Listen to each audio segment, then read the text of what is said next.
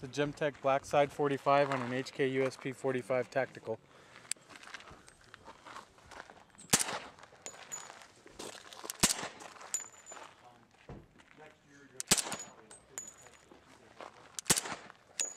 Nice. That is super quiet. Yeah, it's pretty quiet. So we're taking a look at an H&K USP Tactical, which gives us the threaded barrel for the can.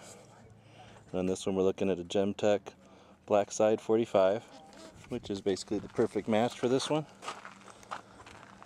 Had USPs in the past, but not the Tactical. Definitely would want one. If it meant I could get a black slide. This one also has an adapter, so it's dropping that rail down to the standard rail. Test fire it here and see what we can see with uh, uh, just the sound of the camera.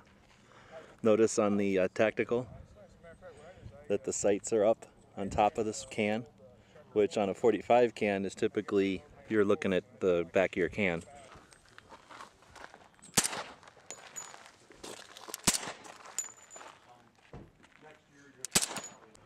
So taking a look again, we're definitely empty. And we're going to take a look at it down the business end there.